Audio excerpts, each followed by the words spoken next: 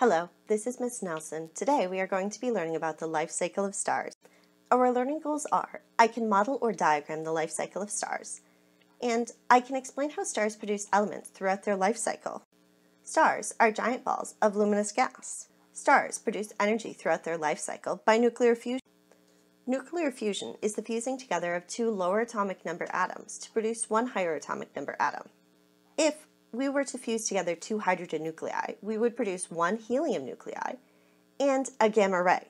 All stars have some things in common. They all have the same structures.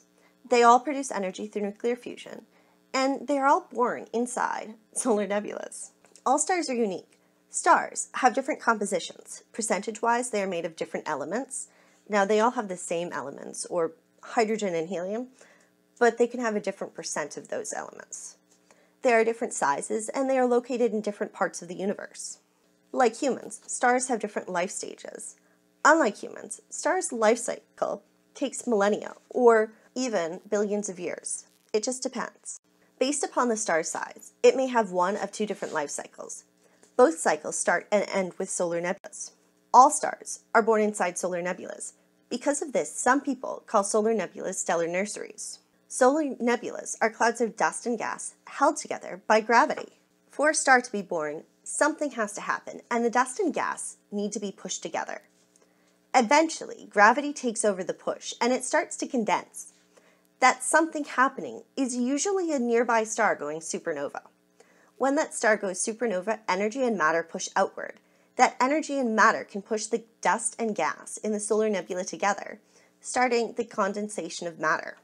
Eventually, enough matter will condense that the heat and pressure will increase to the point where nuclear fusion can start. At that point, a star is born. The star will continue moving through its life cycle.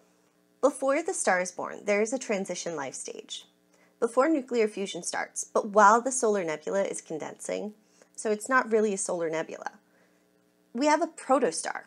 Proto means pre or before. That means the protostar is a before star or a pre-star. Once nuclear fusion starts, a star has been born, but it has to get to that point. In many ways, a protostar is like a fetus.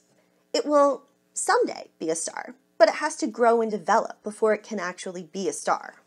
Protostars rotate clockwise or counterclockwise. The rotation is caused by the push from the nearby supernova, or whatever causes it to start to condense. When our sun was a protostar, it was rotating counterclockwise. This is why the planets rotate around the sun in a counterclockwise direction. It's very likely that there are other solar systems out there where the planets rotate around the sun or their star clockwise because that's the direction that the protostar, the matter, which became the star, was rotating it as it formed into a star. Once nuclear fusion has started, a star is born. Depending upon the mass of the star, it can become an average star or a giant star. First, we will be learning about the life cycle of average stars. Then, we will learn about the life cycle of giant stars. Average star's life cycle. Matter starts condensing in a solar nebula. As it heats and rotates, a disk will form, and eventually a protostar will form. Once nuclear fusion starts, we have an average star. It is literally called an average star. When nuclear fusion starts, these stars are fairly cool, dim, and small. To start, the star will be made mostly of hydrogen gas. As it undergoes nuclear fusion, the hydrogen will fuse and become helium. As the amount of helium in the star increases, the star will become hotter, brighter, and bigger. With our star, 3.5 to 4.5 billion years from now, the temperature will have increased to the point where we will no longer have life on Earth. Earth will have an average temperature of 600 degrees Fahrenheit, the sun will have increased in size by 40%. Some rocks on Earth will melt, and the oceans will boil away. Earth will be a dead planet. And that's only 3.5 to 4.5 billion years from now. 5 billion years from now, 50% of the hydrogen will have been used up in nuclear fusion. The core of the sun will have a lot less mass, so it will have shrunk. And the outer layers will have become less dense. At this point, the pressure pushing outward will not equal the pressure pushing inward. The outer layers of the sun will push outward and become a red giant. It will enter the next stage of its life cycle, red giant.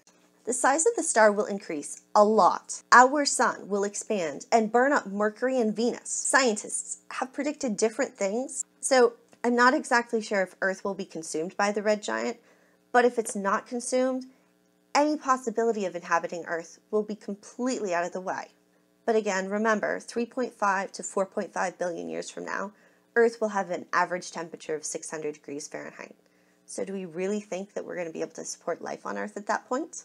Red giants are much, much larger than average stars. A large percent of the star is helium. It will become cooler and brighter than the sun is now. When the sun reaches its maximum size, it will start fusing together the helium in its core. Heavier elements will start being produced. As the atoms are fusing together, the star will start contracting. The red giant will continue releasing energy and continue heating up. Eventually, the red giant will start producing carbon. Elements heavier than carbon require a star with a mass at least four times larger than the Sun. Once the star has used up its fuel, generally when it has a carbon core, it will transition to the next stage of its life cycle, planetary nebula. When a star has a carbon core, the outer layers are made of lighter elements such as hydrogen, helium, and lithium. Those elements will start to blow away. The blown away layers will become a planetary nebula. Planetary nebulas have been known for a very long time. They are called planetary nebulas because they look like large glowing planets. The name planetary nebula is a misnomer. The name makes it sound like planets are born inside planetary nebulas, but that's not true. Planets are born from the leftovers of solar nebulas during and after a star's birth. Planetary nebulas were named in 1780 by William Herschel. Planetary nebulas can have very different and complex shapes. Some are spherical and some have much stranger shapes. The outer layers of the planetary nebula are electrically charged. This means that they emit light. When the outer layers of a red giant blow away and become planetary nebulas, they can also push matter in a nearby solar nebula together. They can start the nebula condensing, and eventually a star can be born from this. White dwarf. While the outer layers of the red giant blow away at the end of that life stage, the core is still left behind. That core becomes a white dwarf star. The formation of the planetary nebula and the white dwarf star are simultaneous. White dwarf stars are very small and very dense. They contain only the heaviest elements the star created.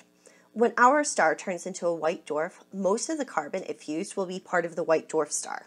At this point, the star is no longer able to undergo nuclear fusion. It doesn't have enough energy to keep fusing. Moving forward, the white dwarf star will slowly cool and dim over billions of years. Scientists believe that when white dwarf stars stop producing heat and light, they will turn into black dwarf stars. We believe that it will take trillions of years for white dwarf stars to turn into black dwarf stars. Because our universe is only about 15 billion years old, no white dwarf stars have formed. Scientists aren't sure what black dwarf stars will look like. The particles given off by the star over its life cycle, particularly the particles which make up the planetary nebula, can eventually join another solar nebula. From there, they can become part of a new star and repeat the life cycle. Giant stars. In this part, we will discuss the life cycle of giant stars. Giant stars start the same way as average stars. They are born inside solar nebulas. Something, usually a push from a nearby supernova, causes the matter inside the nebula to start condensing. Matter will start rotating and condensing and heating. Eventually, it will get hot enough for nuclear fusion to start. At that point, a star will be born. While our future star is condensing and heating and rotating, it is a pre-star. Giant stars. Giant stars are giant. Because giant stars are so massive, they fuse their hydrogen at a much faster rate. When the giant star has fused 50% of its hydrogen, it will transition to its next life stage. Giant stars only take a few million years to use up 50% of their hydrogen.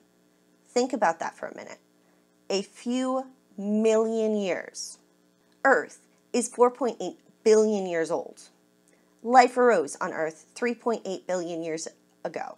We're not talking humans, we're talking about bacteria and amoebas. Homo sapiens, humans, evolved about 0.2 million years ago. If our sun was a giant star, Earth might have formed, maybe, we're not sure. But the sun would have transitioned into its next life stage in a few million years. But humans needed a few billion years to evolve into being. If our sun was a giant stars, humans would never have come about. In fact, life on Earth would probably not have happened at all. When 50% of the hydrogen has been fused, the core of the giant star will start to contract.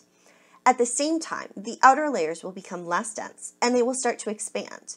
The giant star will enter its next stage of its life cycle, red supergiant. Red supergiants are much bigger than giant stars. The pressure of the core will increase. This increase in pressure will allow the outer layers to start heating up.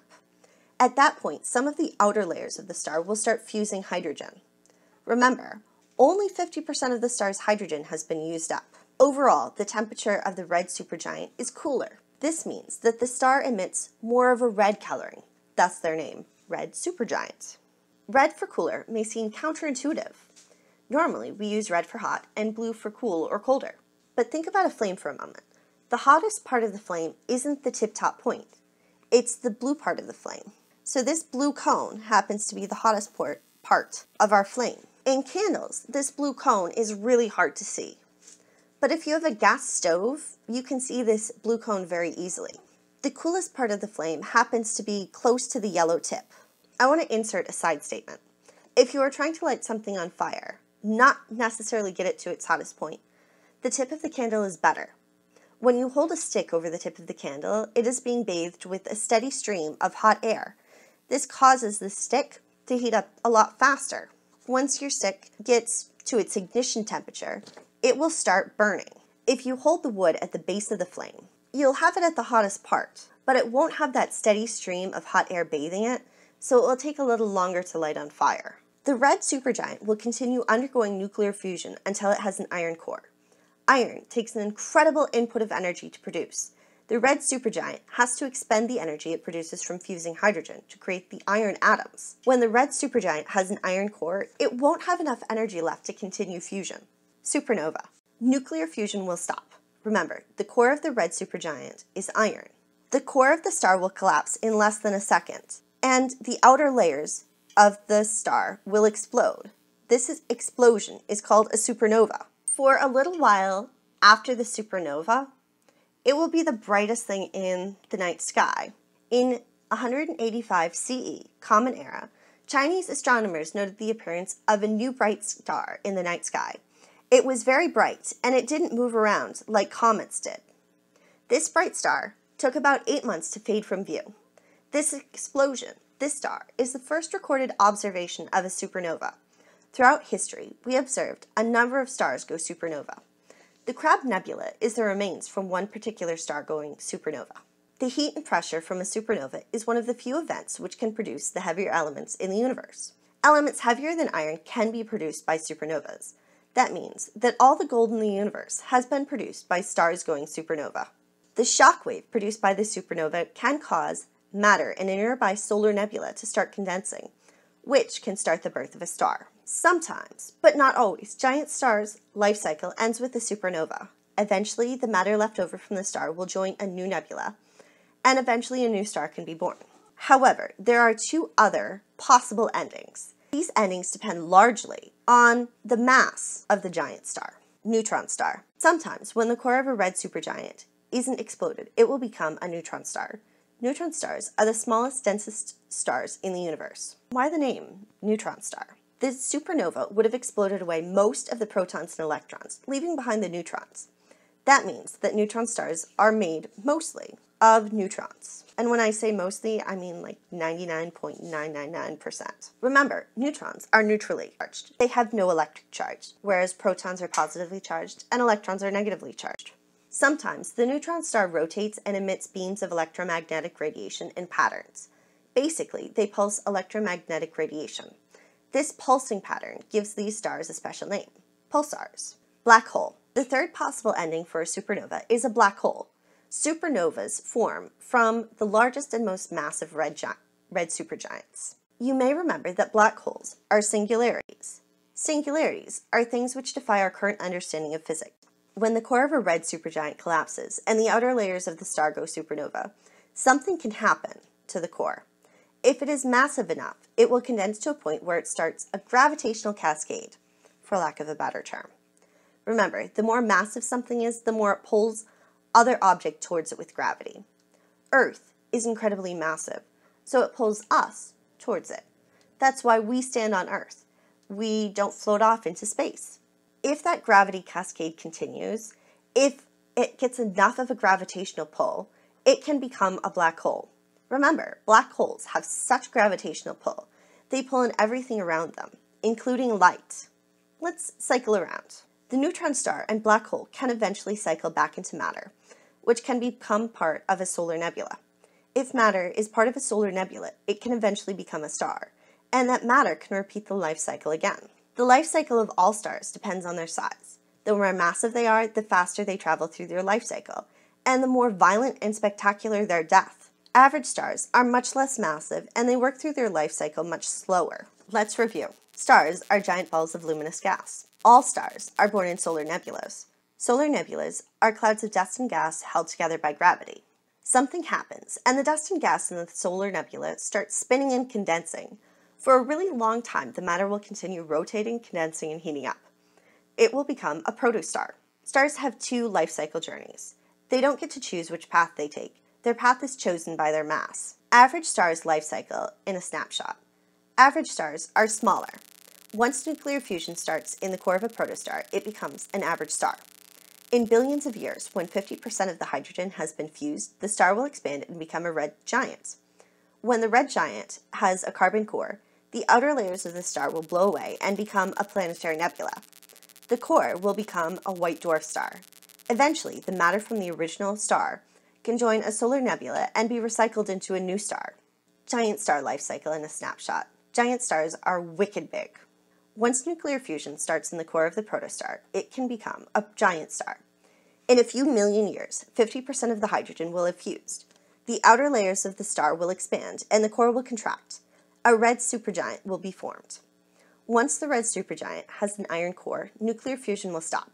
In a fraction of a second, the core will collapse inward and the rest of the star will explode outward as a supernova. Elements heavier than iron can be produced from this explosion. From here, there are three possible paths for the star. If the giant star wasn't massive enough, it will have ended its life cycle. Matter left over from the star and supernova may eventually join a solar nebula, and the life cycle could start again. When the star goes supernova, if it explodes away the protons and electrons of the core, it will become a neutron star. Sometimes, neutron stars emit energy in pulses, earning the name pulsar. Finally, if the giant star was massive enough, the core can become a black hole, Black holes are singularities. They're zones of space which defy our current understanding of physics. Black holes have such gravitational pull, they pull in everything around them, including light.